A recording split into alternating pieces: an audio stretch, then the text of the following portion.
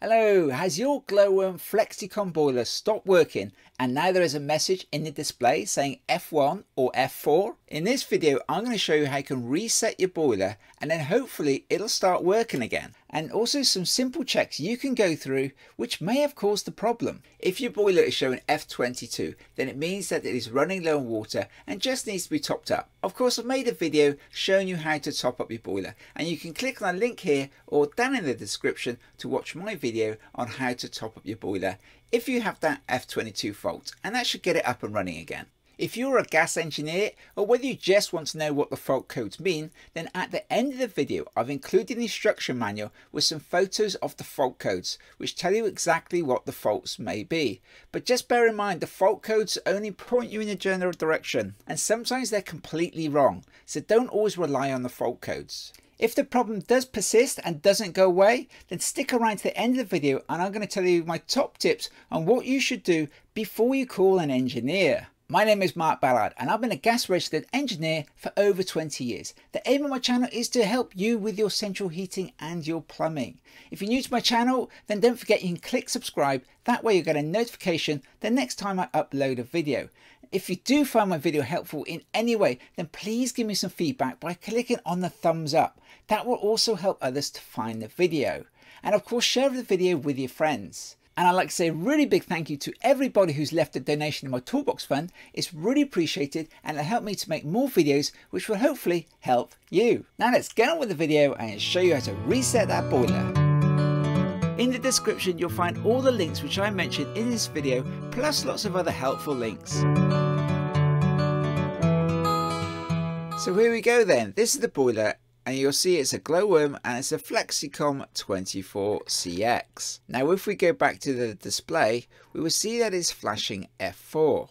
Now what F4 means is the boiler was operating and for some reason the flame has gone out and of course the boiler has then stopped working. Now I had one of my customers give me a call and said that his boiler had stopped working. He was an older gentleman and uh, I went out to the boiler to take a look and of course you can see the display was flashing F4. I took the cover off the boiler, had a good look around, couldn't find anything wrong, and then six months later it's been working absolutely fine. So if your boiler does come up with a fault code, it doesn't necessarily mean there's a big fault. Like all modern technology, it might just be having a funny five minutes. Now to reset the boiler, all we need to do is to locate the reset button, which is in this hole under the display. Then use a pencil or a biro, insert it into the hole and then push in the button and then you'll see the display change and then that has then reset the boiler. Now what we need to do is to test the boiler. So on this boiler as it's a combination boiler I'm going to go to a hot tap. I'm going to turn the tap on then come back to the boiler and then I should see a picture of the tap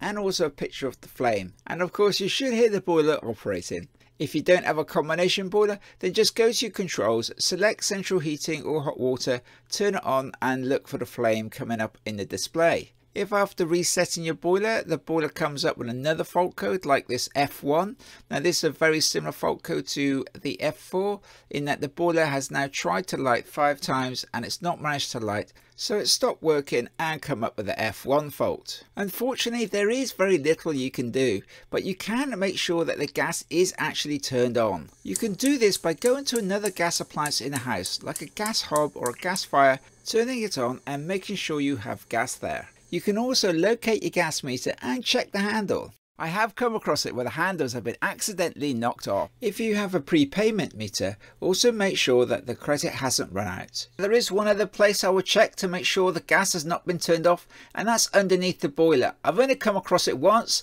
but I did come across it where this valve had been shut and all you got to do is make sure it's in line with the valve like that. If the flame doesn't appear in the display then I'm afraid there's not a lot you can do. If it just goes back to lockout then all you can try doing it is pressing the reset again and if that doesn't work I'm afraid you're probably going to have to call an engineer.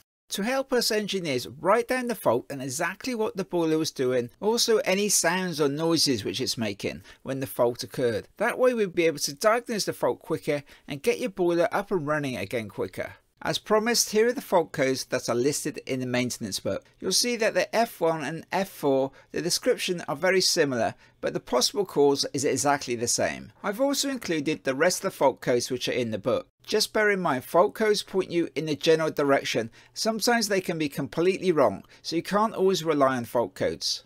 I'm often asked, is it okay to keep resetting your boiler? Well, that really depends on what fault code is coming up on your boiler. Most modern boilers these days will go into that lockout situation when the circuit board inside the boiler detects that the boiler is not working correctly. There are generally three reasons why boilers go into a lockout situation. The first reason is to make you go and physically look at the boiler and see what's wrong with it. And it will not operate until you look at it and press that reset button. The second reason is for safety. So the boiler will detect that it's not working properly and then it'll go into a lockout situation to prevent it from working and keep itself safe. The third reason would be to protect itself. So if your boiler runs out of water, for instance, you don't want the boiler running with no water in it because it's going to damage itself. So the boiler will turn itself off to protect itself from being damaged. Having said that, not all boilers will turn themselves off when they run out of water.